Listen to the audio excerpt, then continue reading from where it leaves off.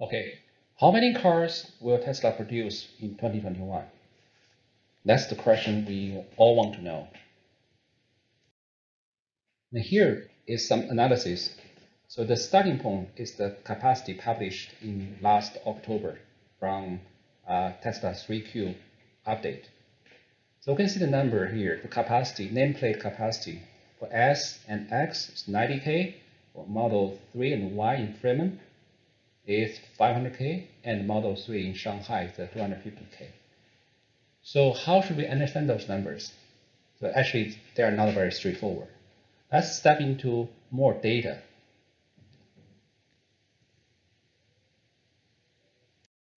This page is the most important page in the pack. Actually, that is, that is the foundation of this work.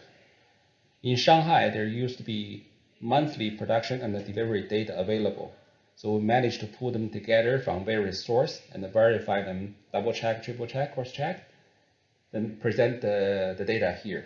You can see in the second column and also the third column are the, the monthly data. So the data in blue have some uncertainties, but this reflects the best estimation combined with other sources other source of information. So from the monthly data, we can get the quarterly data, Shanghai, and we know the worldwide data. This is 100% accurate, published by the uh, by Tesla. So we can get Fremont data because there's only two producing site, sites uh, in 2020. Similarly, we can get the delivery data.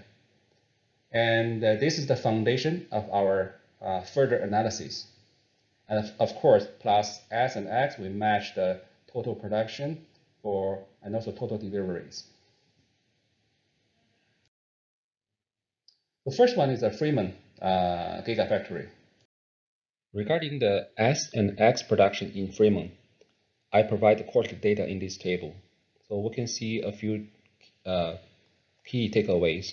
First, second quarter was severely impacted by the shutdown, about six to seven weeks. And the last quarter is trimmed by eight days shutdown. So it could be slightly higher, reach to 17 or uh, 17,000 level. If you read the overall numbers, the quarterly rate is uh, fairly stable, roughly at about the 17,000 level. So the annual production should be 68,000 compared to the nameplate capacity of 90,000. So we expect a moderate markup to 70,000. This is roughly 78 of nameplate capacity. So still a very comfortable target. This is the table for Model 3 and Y in Fremont. So we can see again, second quarter was heavily impacted by the shutdown. So it could be 85,000.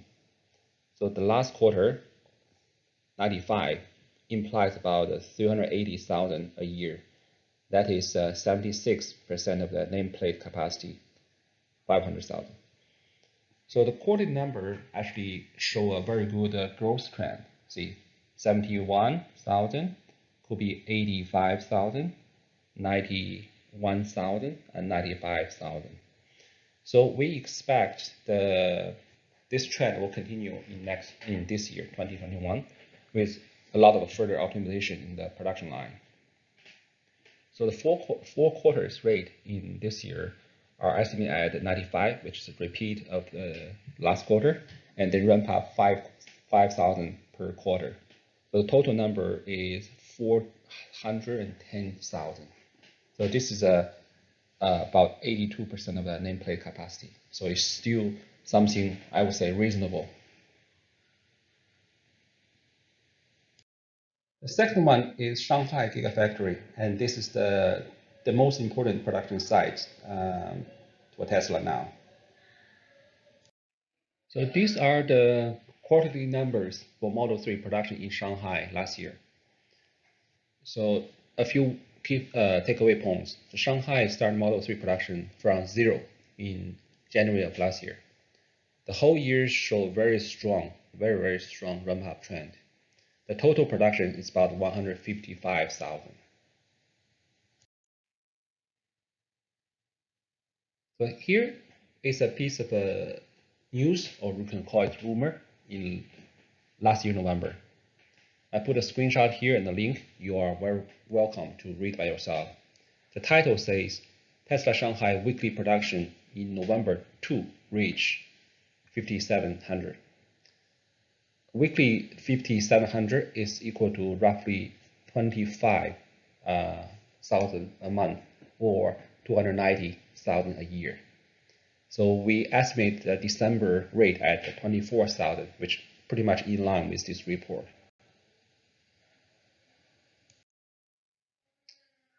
There's a, another piece of news or rumor in the same month. And this one actually is very important. Uh, again, we'll provide the screenshot and also the link here.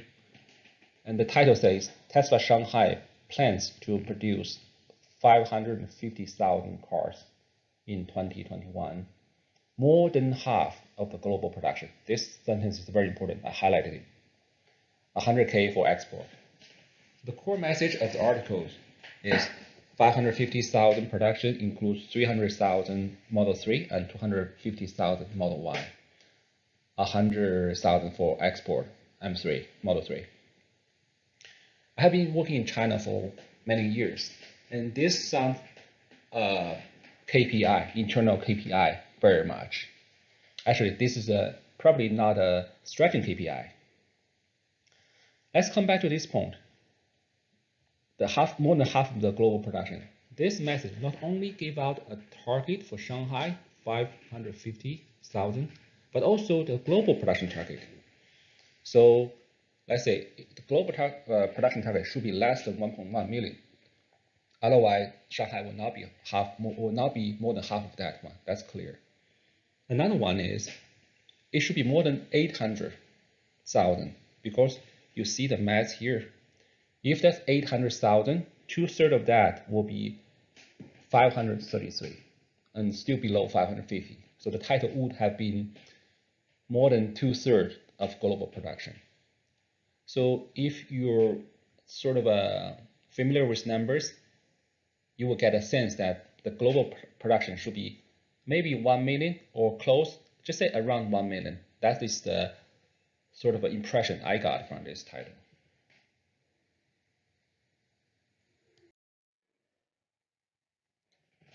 And here is a late, latest information uh, from China. This is a, a, study from Industrial Securities uh, published in January of this year. So basically a few days ago. So that this is a screen, screenshot of the slides. It has a lot of information. I'm not sure all of them are very accurate, but the core message here, uh, first, they predict 223,000 uh, production of this year with uh, 278,000 M3 and 245,000 MY. Uh, about 100K uh, M3 is for export. So this is very close to the previous message uh, in, in the November with slightly marked down. So Model 3 from 300K to 278K and Model Y from 250K to 245K. So these two piece of information could be linked or could be independent, but apparently they are pointing to roughly the same, same point. So is 550,000 possible for Tesla Shanghai? So I'd like to share a big picture. So you see here, this building is phase one, currently producing Model 3 for a year now. And this is newly constructed or finished uh, building for phase two, dedicated to Model Y production. You see there are neighbors next door to each other, very, very close. And you see the background. This is a highly industrialized uh, area with a lot of commercial and uh, uh, buildings, storage buildings as well. The most of the, those buildings belong to suppliers of Tesla. Because Tesla is the hottest topic and also the most important EV company in China now. So any suppliers who serve Tesla will get a big premium, a big jump in their share price. So literally Tesla is their most important customer. But all of them are very eager to get Tesla's contract, and whoever get it will establish a facility as closer as possible around Tesla campus. So this is what happened uh, here. Is 550,000 possible for Tesla Shanghai? So for Model Y, I think um, it's very possible given the production rate of December, roughly 24,000, and also new the news leak in November about capacity, 5.7 thousand per week.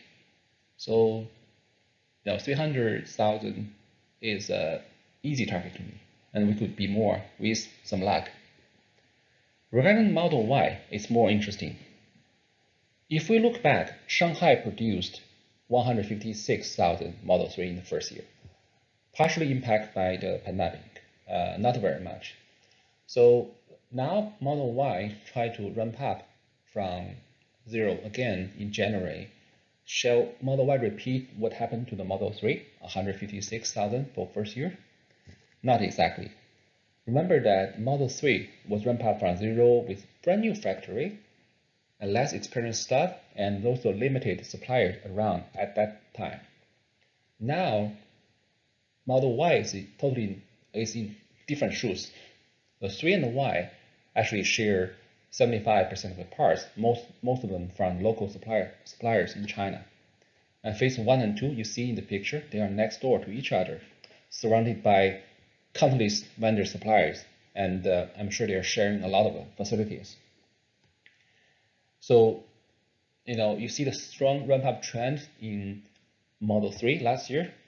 That implied that the team have learned a lot about know-how, many lessons learned from phase one. And those lessons learned know-how can be applied to Model Y directly, even by the same staff. So, and there are more uh, new technologies like GigaPress. So the team keep inventing new technology, new tools to apply to the production line. With, with all of this combined, I believe the Model Y ramp up will be much more swift, smooth. The 250K is very possible.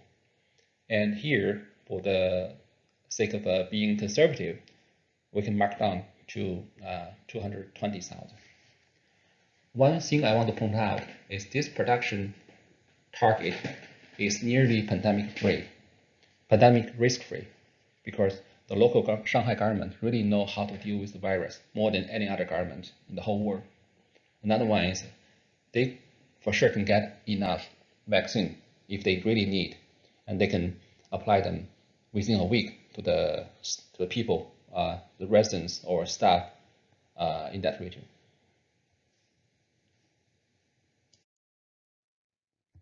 So here's a quick summary of Fremont and Shanghai. So Fremont S and X, 70,000. 3 and Y in Fremont, 410,000. Shanghai Model 3, 300,000. Shanghai Model Y, 220,000. The total number is exact uh, 1 million. So Fremont provide 480,000 and Shanghai provide 520,000. This is my estimation.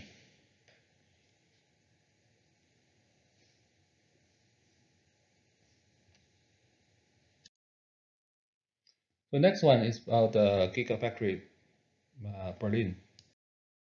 Now it's exactly one year since the front cleaning work uh, last January. So Giga Berlin is expected to start production in the coming summer, probably July or August. That's the official uh, timeline. Currently, it's just almost finishing, almost finished the roofing. Still something missing here and here and here, and there's no wall yet. You can see pretty heavy snow. Uh, that's the environment. This picture from uh, the video shared by Elon a few days ago.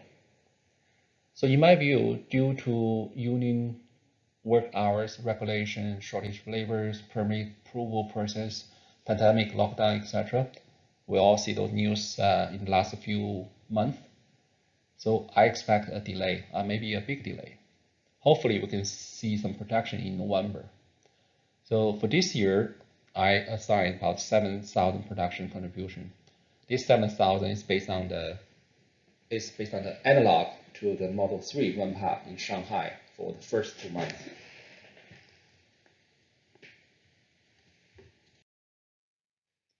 Next one is about the Austin Gigafactory.